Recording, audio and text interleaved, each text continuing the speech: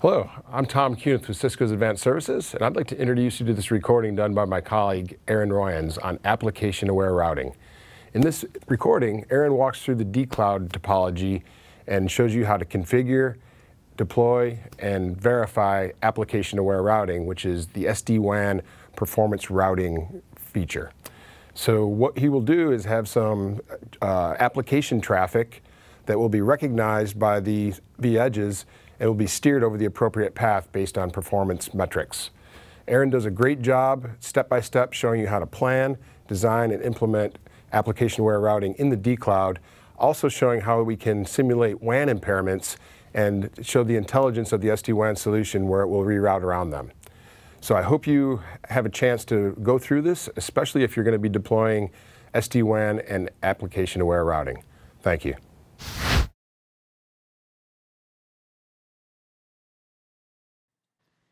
Application-aware routing tracks network and path characteristics of the data plane tunnels between WAN edge routers and uses the collected information to compute optimal paths for data traffic. Historically, the intelligence of a router was based on the implementation of routing protocols. Path selection was based on the combination of destination IP address information and metric calculations compiled by the routing protocol's algorithm. Application-aware routing adds a new dimension to this path selection intelligence by measuring the loss, latency, and jitter of a transport. This, coupled with the Deep Packet Inspection Engine, allows the router to route traffic based on a specific application's network requirements, as opposed to just the intended destination IP. In normal network operation, the path taken by application data traffic through the network can be optimized by directing it to WAN links that support the required levels of packet loss, latency, and jitter as defined in the application's SLA within vManage. In the face of network brownouts or soft failures, performance degradation can be minimized. The tracking of network and path conditions by application-aware routing in real time can quickly reveal performance issues and automatically activate strategies that redirect data traffic to the next best available path. As the network recovers from the brownout or soft failure condition, application-aware routing automatically readjusts the traffic path of the data. Before we configure application-aware routing, it's important to do a little bit of planning. Regardless of whether you have configured an application-aware routing policy, each WAN edge router automatically monitors jitter, loss, and latency and other interface characteristics on their data plane tunnels. To display this information, use the Show App Route Stats command on the router.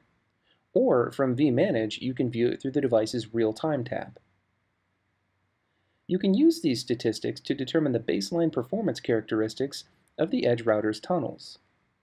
You can also use them to create appropriate application-aware routing policies or to modify existing policies.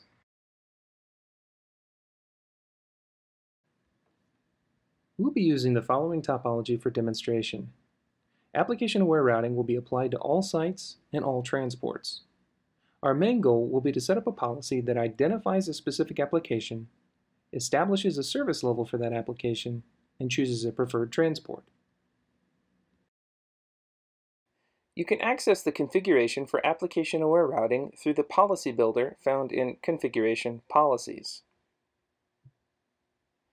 Many pre-built policies are here for you to explore. Click the ellipse on the far right and choose Edit or View to review each policy's configuration. For the sake of example, however, let's create a new policy. In this policy, we'll configure the system to maintain an SLA for voice over IP traffic and prefer our MPLS transport. Click the Add Policy button. The first step to creating our new policy is to identify the traffic we're interested in. This is analogous to creating a class map on an IOS router. In the Application tab, click on New Application List. Name your application list. Click the drop-down under Application and search for Real-Time Protocol, as well as Session Initiation Protocol.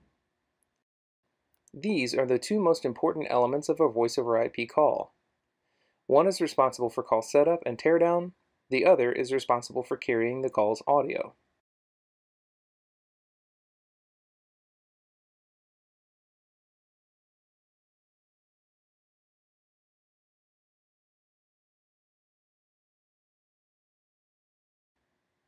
Click the Add button.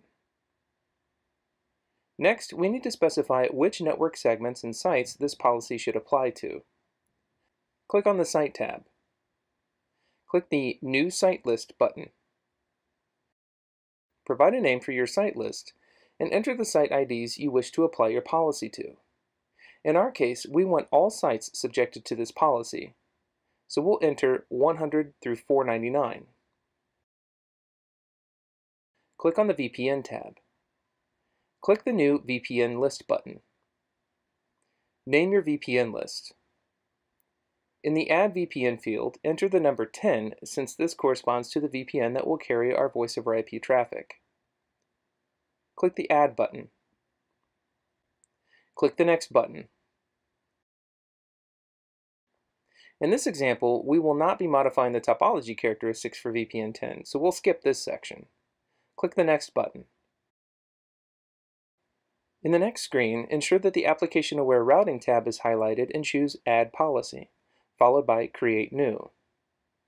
Name your policy and provide a description.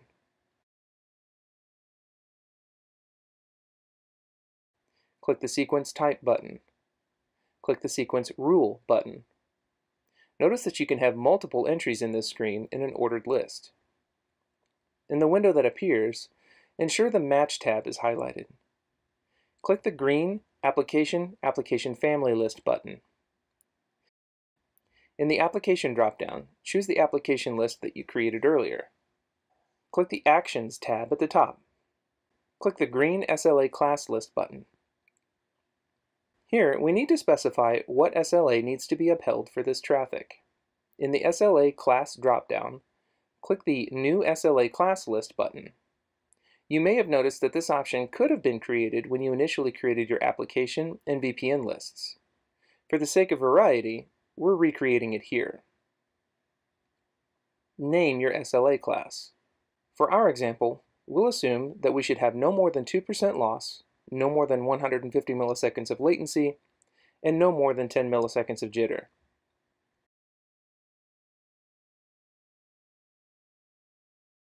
Select your new SLA class.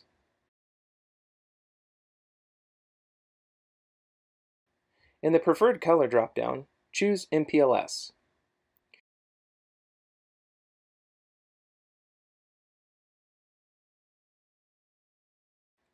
Notice that there's also an option for backup SLA preferred color in the event that your first choice is unacceptable. Also notice the strict checkbox.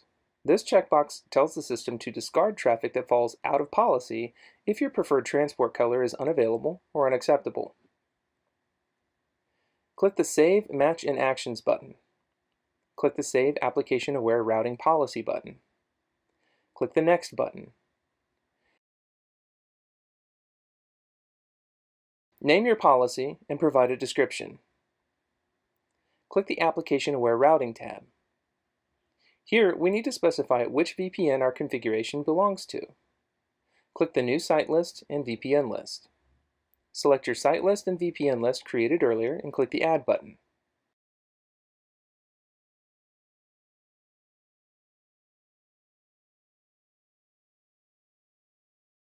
Click the Save Policy button.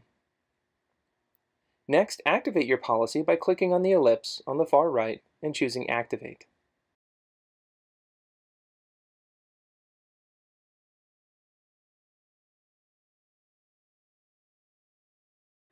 After a brief moment, your new policy will take effect. Let's quickly verify that things are working as expected. Head to the Monitor Network screen. Click on one of your DC vEdges. Click the Troubleshooting tab. In the screen that appears, choose Simulate Flows. Choose VPN 10 as your source VPN for the traffic. Select a source interface then specify a remote destination. In the application dropdown, choose RTP so that our new policy is triggered.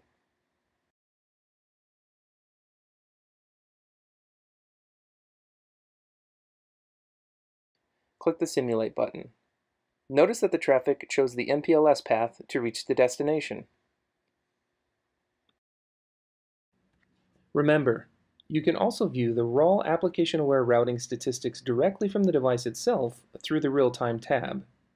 This is the same output that you would receive while using the show app route stats command we discussed earlier.